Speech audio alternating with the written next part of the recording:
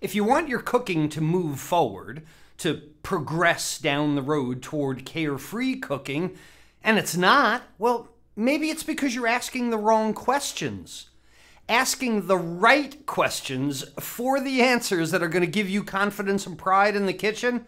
That's our topic today on the Carefree Cooks Code. I'm Chef Todd Mohr, and this is the Carefree Cooks Code every Tuesday live at noon Eastern. Here's our challenge How can home cooks cook freely with creativity, confidence, and pride while ignoring recipes and still impressing themselves and others with what they cook? Well, the answer is found in becoming empowered with how cooking works, using dependable and repeatable methods of cooking that work for any ingredient, for any diet, and any desire, just like chefs do. And we'll know we've cracked it when everyone sees cooking as an exciting and rewarding way to improve their relationships, their lifestyles, and their health through better food and cooking. This is the Carefree Cooks Code. Hey, welcome back to the Carefree Cooks Code, everyone. Uh, this is the weekly show for methods, techniques, and insights into better food and cooking. We're live together every Tuesday at noon Eastern, and you can find all the past videos in the archive on Facebook. If you go to facebook.com slash chef.todd.mohr slash videos. And if you want to see what I'm cooking and how I did it, uh, you can follow Chef Todd on Instagram as well, because what you're going to see is me creating my own recipes, bringing friends and family together, learning every time I cook, on my way to creating my own cooking style. And this all happens because I practice pro methods and I love my cooking. That's how it works. Hello, carefree cooks all over the world. It's great to be back with you today. Tuesday, always my favorite day of the week because we get to chip away a little bit more at the chef secrets and the skills that are going to help us break that carefree cook's code, which means you wind up cooking with creativity, confidence, and pride. And to do that, to, to progress in any endeavor, you got to be a little bit curious, right? When you're curious, you have to ask questions.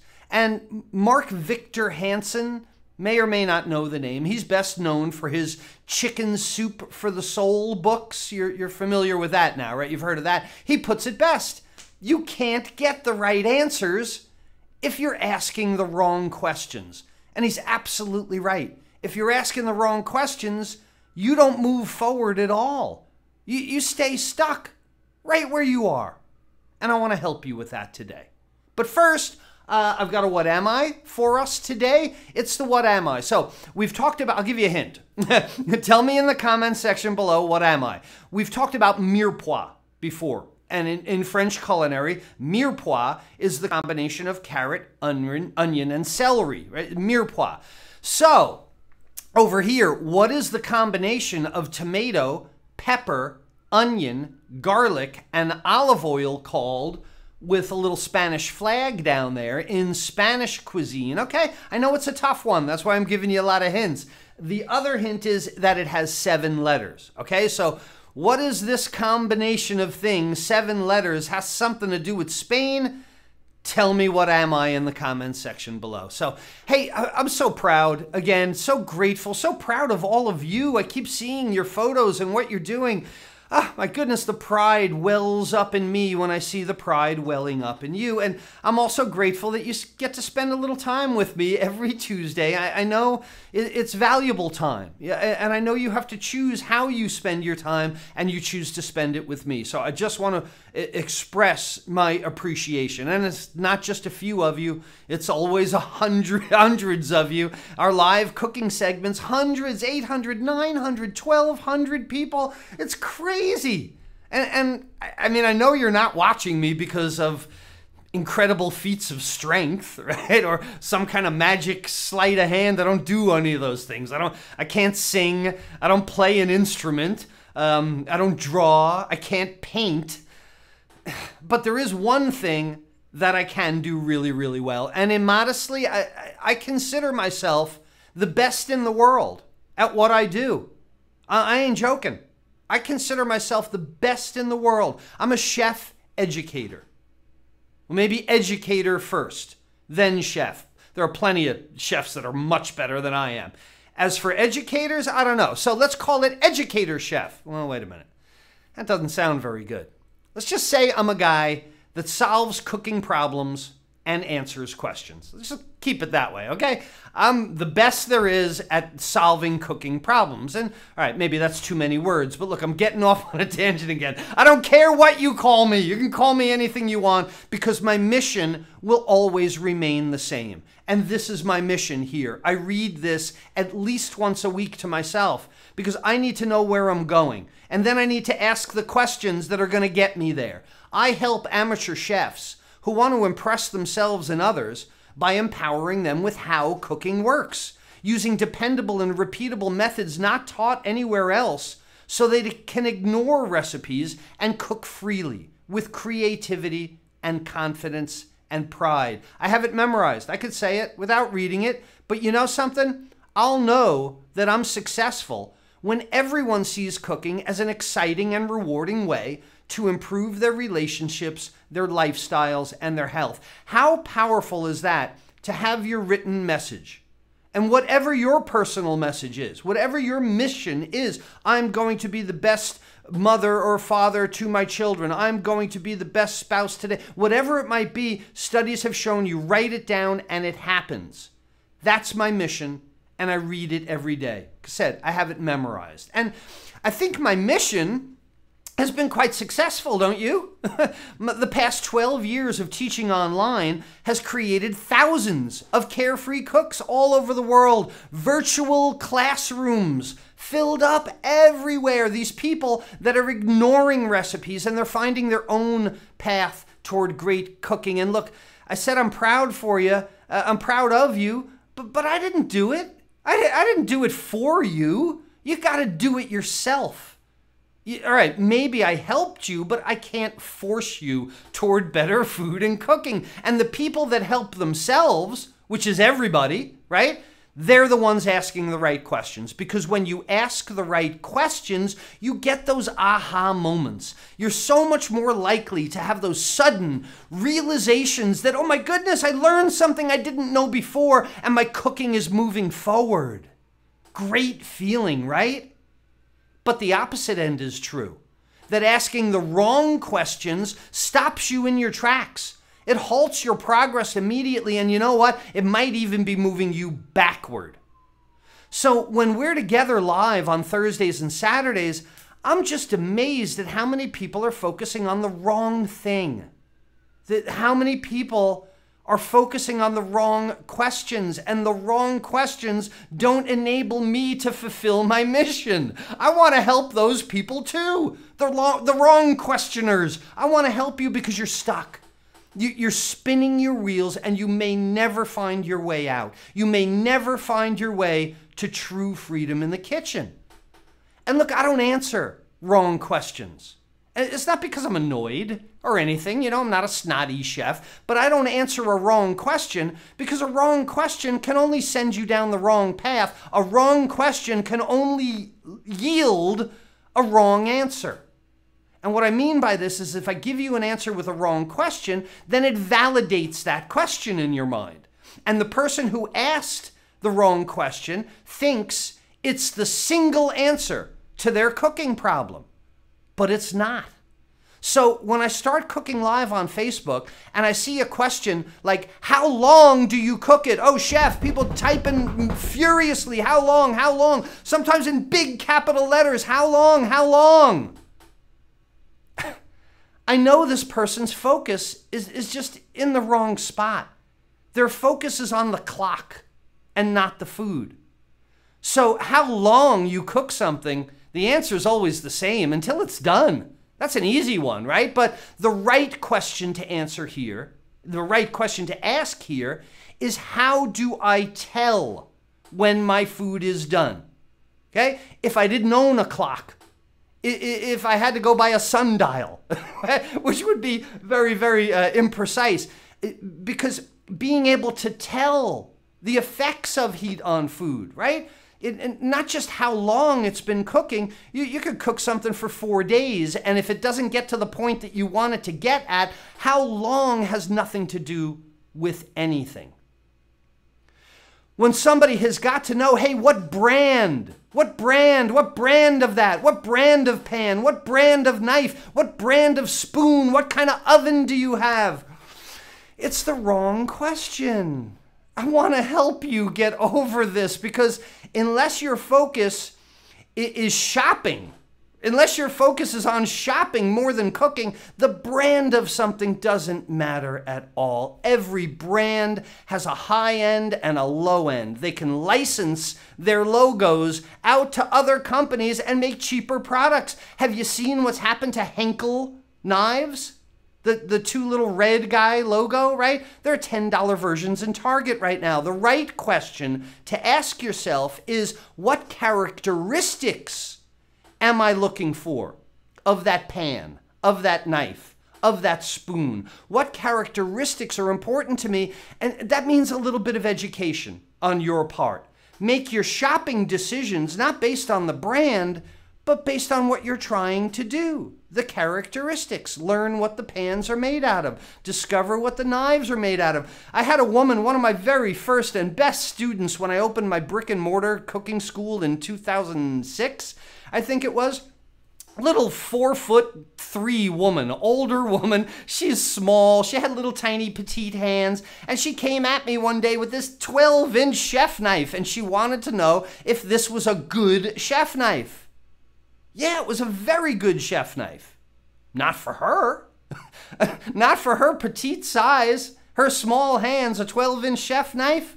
Wrong. So the brand has nothing to do with it. Similarly, uh, hey chef, uh, what do I do if I don't have a gas stove? Uh, or, uh, I love this one. I can't believe that a chef is cooking on an electric stove. Do you know somebody commented last week? I would never trust a chef. Last week, this is the comment. I would never listen to a chef who cooked on an electric stove.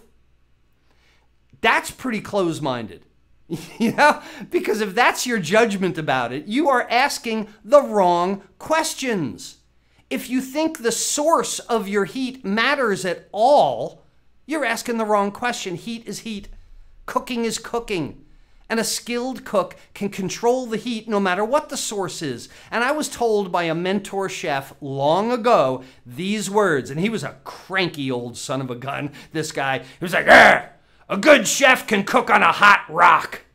And I never forgot that. Because the right question to ask in this is what method should I use to apply my heat source? Watching how I cook the item and then do it in the kitchen, right? It, it, it, doesn't have to do with, uh, again, how long, what brand, whether it's gas or electric or open fire or induction or any of it. It comes down to the results. What method will you apply to get the results that you want, whether it's electric or gas? It doesn't matter. Or a hot rock, for that matter. Uh, all right, look, the next wrong question uh, actually makes me happy. I, I like to get this wrong question because it's a challenge. There means that means to me that there is another mind out there for me to change, a new carefree cook in the making, and this is the question I get. You know I'm going to wince when I do this. You ready? Can I have the recipe? Oh, no, it's the wrong question when you're watching one of my videos, that's for sure. When you're watching one of my live broadcasts, and it's the wrong question for a few reasons. First, you know there is no recipe. There, will never be a recipe in one of my lessons. I don't read them, I don't write them, I don't follow them. There's no recipe for me to give you, okay? And that means, what, why this is the wrong question is because that means you're focusing, you're not focusing on the methods, on the dependable and repeatable methods of cooking. It's like asking someone else if they would please be responsible for your cooking instead of you, right? When you have to have written instructions, it's like giving up the responsibility. So, asking about written instructions is really the wrong question. Better question, the right question is how do I watch what Chef Todd did? Or how do I watch what any chef did? And then duplicate the method. Who cares what food they applied it to? But how do I do what they did, the steps they did, but use the foods that are right for my diet or my desires? That's the right question. How do I use the food that I got to eat for the way that that person did it. Forget about the written instructions. You're not going to be able to follow them anyway. If you hear a, like I've always said, if you play guitar and you hear a Beatles song and somebody gives you the sheet music to the Beatles tune, you don't sound like Paul McCartney, I guarantee it. It won't be the same. Okay, similarly, here's another wrong question. Um, uh, chef, how much thyme, how much basil, how much chicken broth, how much rice, how much whatever. How much of it did you use? It's the wrong question. This is the question that goes along with recipes. This is the question that goes along with measuring things precisely, with thinking that somebody else has got this figured out for you and all you got to do is read their instructions. Unless you're baking, Unless we're talking about a baking formula, how much or how little of something you use is entirely within your control. The seasonings, the broths, the, the size of the protein product, the butter or the oils for saute, they're all decided by your tastes. They're all decided by what you have in mind for the end result of your dish.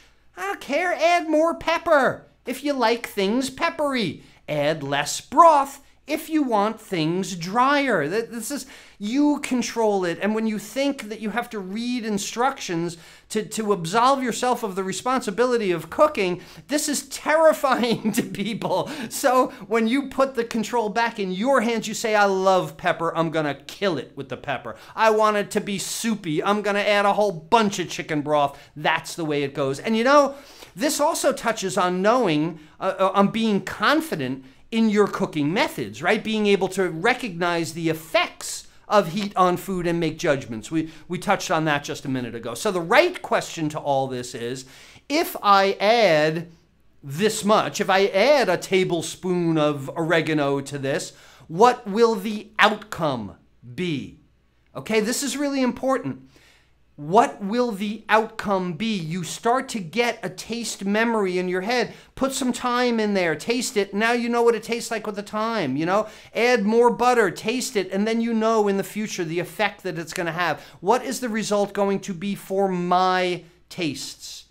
Because we should always cook with the end result in mind, not somebody else's taste.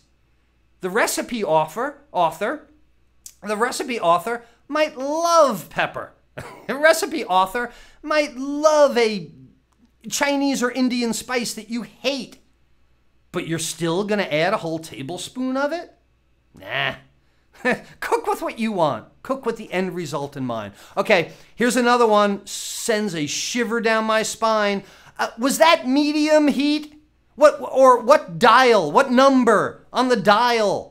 Are you using? Did you cook at number five or number three? These are immediately wrong questions because our stoves are different. Number five on my stove is an entirely different amount of heat than number five on your stove. There's no doubt about it. Heck, number five, if you think about it, isn't even the same from burner to burner on the same stove. Try that out at your house. Is number five so trustworthy? It's not, because if you just go from burner to burner, it's not the same on your stove, let alone this idea that there is a global standard for number five on every stove in the world. It's insane. Why you would trust number five ever? There's no such thing as medium heat. There's none. No such thing as medium heat. No such thing as medium low heat. It's relative. It's unquantifiable. You can't cook that way. The right question here to ask is while looking down into the pan while you're cooking, you got to ask yourself, am I applying the right amount of heat right now? What, what what's going on? in that pan? Is that going to get me the result that I want? It, the real question here is to ask yourself, am I controlling the heat correctly? And that, my friends, is the absolute key to all of cooking, is controlling the heat.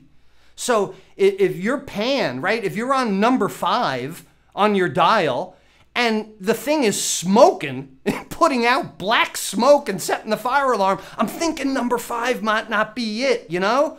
If you drive your car with the gas pedal all the way to the floor and you keep knocking over mailboxes, I think maybe you ought to take your foot off the pedal, right? That this is the idea. Maybe you should try number four. for a little while. Maybe number three would help you out too. You can see it drives me nuts. You, you can't depend on number five. All right, got to move on. The next wrong question is one of a lack of, of uh, self awareness, let's say, a, a lack of the awareness of the options that you really do have with your food because along your path to carefree cooking is going to be some weird food, right? Maybe some stuff that you can't eat or you don't want to eat. So the wrong question I get so often is, what if I can't eat onions? What, what, what if I can't eat? What if I don't like celery? Well, the answer is really simple to this. Leave it out. Just don't eat it. It, it has nothing to do with the cooking method that you're applying. Use the foods that you like. Use the foods that are right for your diet. Use the foods that are most available, readily available to you. And again, this is where cooking methods comes in, right? Cooking by method. You don't ever need a substitution for a recipe that tells you how to cook something when you're the one that's writing the recipe. Doesn't that make sense? Only the recipes that somebody else has written do you need substitutions for if you make it up your own, you're not going to write in something that you can't eat. It's crazy. So the right question here is how will I change these ingredients for my diet or my desires? How will I keep the method, right? This goes back to the recipe thing before. How will I keep the method but change the ingredients that are right for my diet? And like I said before, when I said awareness, I, I didn't mean to sound harsh about this, but when I mean awareness, I mean it's up to you to know what your substitutions are. If you have a special diet and you're unsure, you better do some research. You better speak with a dietitian or a nutritionist. Trust me, it's going to be worth your time and money.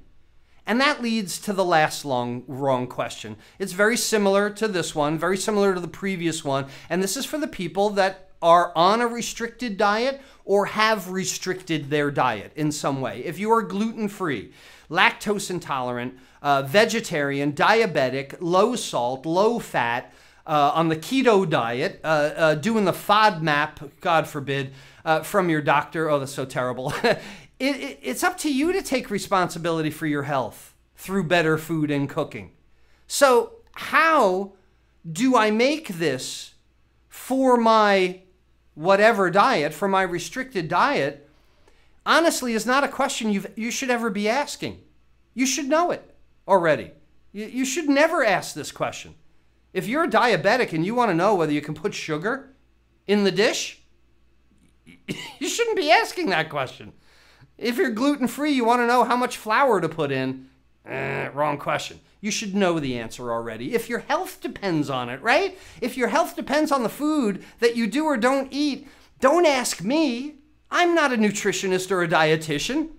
I mean, I'm serious. I'm sorry to sound harsh, but if you're lactose intolerant, you should know about alternative milks and cheeses. If you're diabetic, you should already know what you can't eat using different sugars, different oils than you might see me demonstrate with. If you're gluten free, you should know cold, by heart, three or four other types of flour that you know that you can use instead of wheat flour. It's, it's only because I care about you. I do. And if your food is your health, you got to know these answers ahead of time. Because the best thing you can do for yourself to move your cooking forward is to think carefully about the questions you're asking. Think carefully about the questions you're asking of me and of yourself. Because you're not going to get, throw in another analogy, you're not going to get the right driving directions to the beach if you ask someone how to get to the mountains. So when it comes to cooking, is your focus on cooking by time and temperature? Maybe more questions about the effects of heat on food and what to look for would bring you much quicker success than looking for another recipe. If you think precise measurement of the ingredients is the key to cooking and, and you always want to know how much, maybe you can start taking a little bit more of an artist's attitude toward your cooking, a little more laissez-faire, you know? Heck, maybe you could just splash the paint against the canvas a few times and see what happens. It might be a lot of fun. Ask the right questions, and you get answers that actually help you. And you're going to be really glad that you did. Uh, let's see what kind of questions are being asked in our Carefree Cooks community for lifetime members of web cooking classes this week. Let's see who we got. Oh, Lisa. Lisa took advantage of me asking the right questions about uh, why my biscuits were so bad. I don't know if you saw the first episode. I totally messed up my biscuits. They were terrible. 912 people watched me do it. Uh, she saw the Biscuit Fix It episode I followed up with, where I got the answers that I gave to myself, and she made these beautiful biscuits. Nicely done. Uh, Eddie made himself a birthday dinner. Nice. Uh, he was taking all the right questions questions that he's been asking, and he turned it into a marsala sauce. First time he's ever made marsala for his filet mignon. Happy birthday, Eddie. Nicely done. Uh, Laura got the right questions to her, uh, right answers to her questions about making a roasted butternut squash soup. She had never done it before. This is her first attempt. And now, the only question that she's being asked if she would please make it again. uh, Deborah watched the balsamic scallops class from Thursday and asked just one question of herself Hey, why can't I do that too? I love this comment. Oh, this is the other thing she followed up on. She says, My family keeps asking if the dinner is from Chef Todd's lessons because they're the most new and exciting dinners. Great. Thank you so much, Deborah. I love that quote. Uh, look, and like I said before, you did it, I didn't. I just give you the ideas and methods. Ultimately, it's you that makes it really tasty and fun for your family. Uh, lastly, Carol, she might have asked the right question because this turned out to be the answer. Her take on a creamy mushroom uh, soup class from just this last Saturday. Add a grilled cheese and veggie sandwich. And the answer to her question is pride in having made a great lunch for herself. So before we end up, I've got a few questions for you now. Uh, what are you making for dinner? Uh, what cooking method are you going to use? Do you know any of this already? No? You haven't thought about it yet? Start thinking about it. Because if you think about what you're going to cook for dinner and what method you're going to use, then you start envisioning in your mind how you're going to cook it. And how is so much more powerful than what. It's called visualization. Visualization, I do it all the time. It is so good. It is so power powerful. Heather sees me almost every night. I'm like leaning against the kitchen counters. I might have my eyes closed even, and I go into what appears to be a, a total trance because I'm imagining it. I'm seeing it in my mind. I'm, I'm like, I'm going to heat the pan first. Uh, then I'm going to add the oil. Uh, will I add the aromatics first, or should I do the chicken and then pull the chicken out and then the aromatics, right? That whole thing, I'll work the whole thing out in my head beforehand. And you know what that does? It brings up all the questions that I might have in advance so I can answer them myself before I start cooking. If you want to know how to ask the right questions and then immediately how to answer them yourself, it's visualization. Try it. Seriously, visualization. It gives you all the answers for sure. Oh, and before I give you, with just a few minutes left, before I give you the answer to today's What Am I, I've got a special announcement because tomorrow is. It's the fifth. Trumpet, hand trumpet. Uh, it's the fifth anniversary of our Carefree Cooks community of lifetime members of web cooking classes on Facebook. It's so exciting. Tomorrow, uh, even though web cooking classes started in 2009, not only people could talk to me, they talked to me, I talked to them. So it wasn't until September 30th, 2015, when we created this Facebook community so that lifetime members could post their photos and interact with each other. And if you're not a lifetime member of web cooking classes, I have no idea why, because you're missing an opportunity to take your cooking to levels that you never even thought possible. And look, those aren't my words. That's what most of our members say, pretty much down to a person. And in honor of the fifth birthday of the Carefree Cooks community, I'm going to be doing something really special inside the private community tomorrow. I'll be posting that later today, but remember, it's only open to Web Cooking Classes members that are in the community. All right, we'll see you tomorrow. We're going to do something really cool. Uh, so let's get back to the what am I for today. The combination of tomato, red pepper, olive oil, onion, and garlic in Spain has seven letters and it's called sofrito. Sofrito, and a lot of Latin cuisines as well. Sofrito is Latin mirepoix. Got to come up with a different name from the French. The French think they invented it all.